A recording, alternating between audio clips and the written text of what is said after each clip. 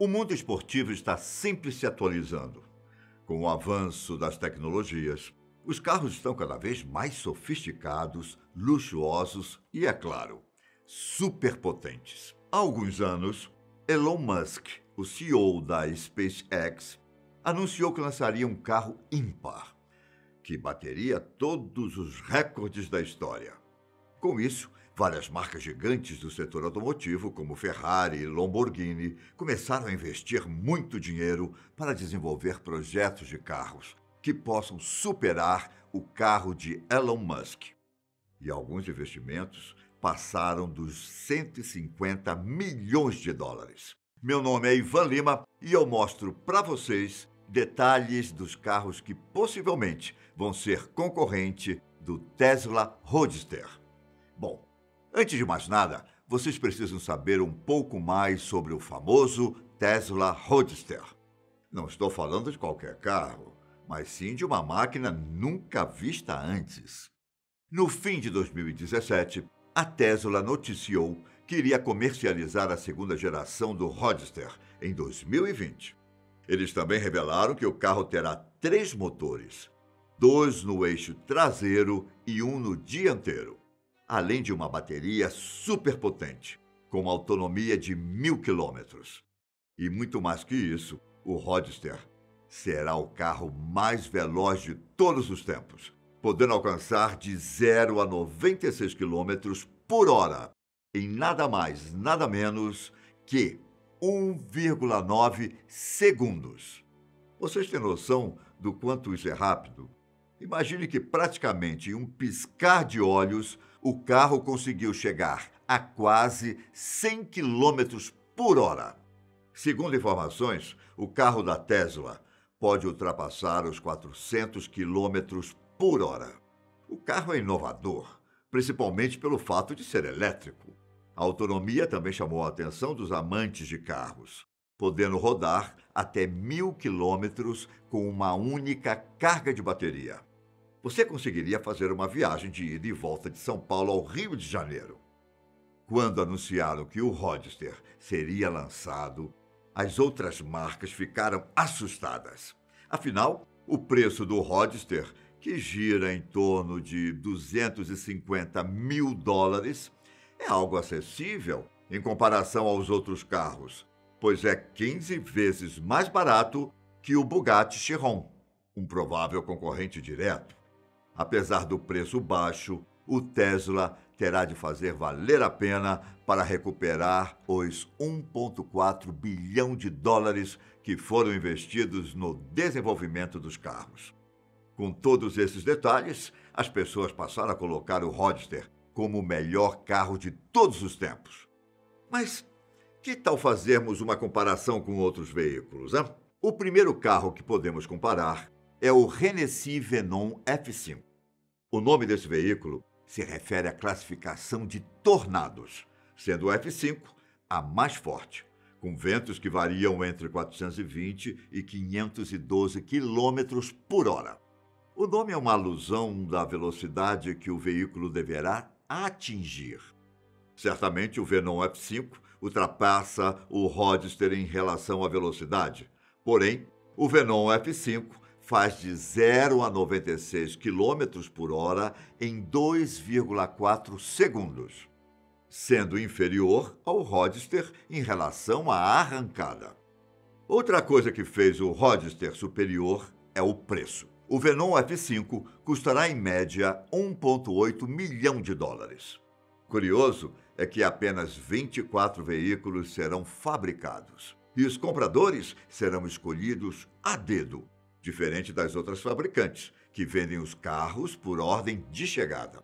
Então, apesar de atingir uma velocidade superior ao Roadster, ele perde em alguns quesitos, principalmente no custo-benefício.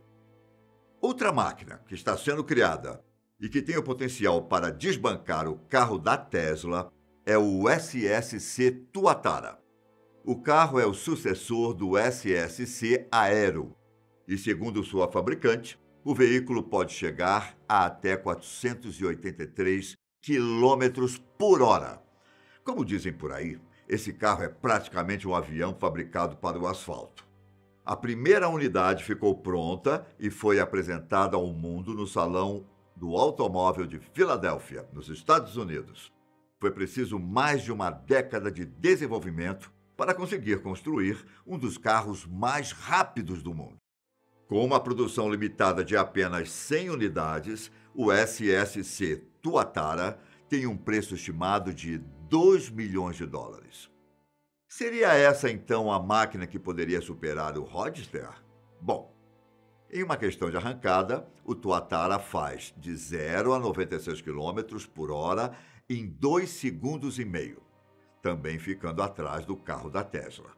Levando em conta que o Tuatara também é um carro a combustão e não elétrico, ele perde para o Roadster em questão de preço, potência e, é claro, em autonomia.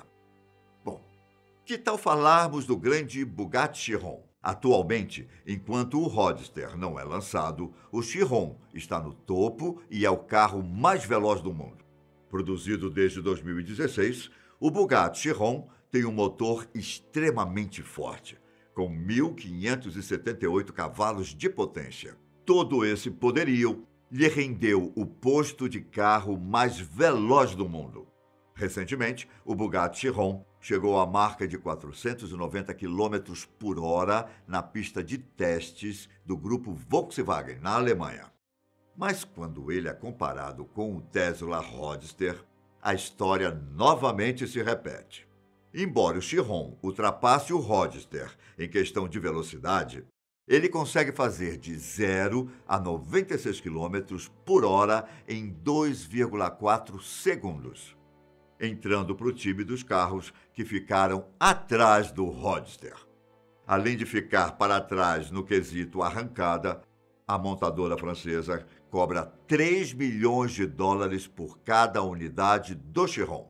Como eu disse no começo do vídeo, o Tesla Roadster custará 15 vezes mais barato que Bugatti Chiron. Então, acho que nem preciso dizer qual desses carros é o melhor. A Porsche jamais ficaria de fora do nosso vídeo. O Taycan será o primeiro carro totalmente elétrico da Porsche. A marca inicialmente tinha uma meta de 20 mil unidades para o seu primeiro ano de produção, mas recentemente dobrou esse número. O Taycan tem uma potência de mais de 600 cavalos e acredite, mesmo sendo um concorrente em potencial para desbancar o Roadster, ele está longe disso. Primeiro, Vamos falar da sua velocidade. Ele pode atingir até 415 km por hora. Só que para fazer de 0 a 96 km por hora, ele gasta em torno de 2,8 segundos, ficando bem atrás do Roadster. Outro diferencial é na autonomia do carro. Enquanto o Roadster pode andar até 1.000 km com apenas uma carga de bateria, o Porsche Taycan roda cerca de 650 quilômetros. Mesmo sendo inferior em relação à potência, o Taycan não deixa de ser um carrão. Com um design único, o Taycan foi fabricado com a missão de oferecer a impressão de dirigir um Porsche original, algo típico nos carros da marca. O preço dessa belezura? Hum, apesar de terem sido gastos cerca de um bilhão de reais para desenvolver o veículo, seu preço é extremamente baixo. Ele custa, em média, cerca de 125 mil dólares. Ele pode até ser mais barato que o Roadster e os outros carros que eu citei, mas em potência, ele é tão inferior que dificilmente chegará ao topo dos carros mais velozes do mundo. Para finalizar, quero falar de dois hipercarros: o Concept 2 da Rimac e o Pininfarina Batista. O Concept 2 já foi fabricado com a ideia de que seria concorrente direto do Roadster. A Rimac já anunciou que o novo modelo iria esticar os limites para lá do imaginável. Usando uma bateria com tecnologia de ponta, o carro é alimentado por quatro motores elétricos, um por roda, para garantir um poderio total de 1.914 cavalos. O que isso significa? A aceleração do carro pode fazer de 0 a 60 milhas por hora ou de 0 a 96 quilômetros por hora em apenas 1,85 segundos. Ou seja, em questão de aceleração, o Concept 2 poderia superar o Roadster. Apesar de usar uma bateria com tecnologia de ponta, em questão de autonomia, o Concept 2 é superado pelo Roadster. Como eu disse, o carro da Tesla é capaz de percorrer mil quilômetros com uma carga, enquanto o veículo da Rimac atinge no máximo 650 quilômetros por carga. Na questão do custo, o Concept 2 custa 2 milhões de dólares e também perde neste quesito para o Roadster. E então chegamos ao glorioso Pininfarina Batista, o carro de rua mais poderoso que já saiu da Itália. Esse monstro, como muitos chamam por aí, possui incríveis 1.904 cavalos de potência e pode fazer de 0 a 96 km por hora em menos de 2 segundos. Recentemente apresentado no Salão do Automóvel de Genebra, esse carro, além de superpotente, tem a potência de freio equivalente a 1.900. Só para vocês terem uma noção, é aproximadamente o dobro da potência do freio de um carro da Fórmula 1. O nome Batista foi dado em homenagem ao fundador da Pininfarina, Batista Pininfarina, que é um dos primeiros veículos elétricos construído pela fabricante. Será que esse veículo irá superar o Roadster? Provavelmente não. A autonomia desse carro não chega à metade do veículo da Tesla e seu preço é muito superior cerca de 2 milhões de dólares. Bom, apesar dos esforços e dos investimentos das montadoras para superar o Tesla Roadster, pelo que podemos ver, dificilmente alguém vai superar o hipercarro. Enquanto isso, ficamos aguardando e apreciando essas belas máquinas. Eu me despeço por aqui. Até a próxima. Tchau!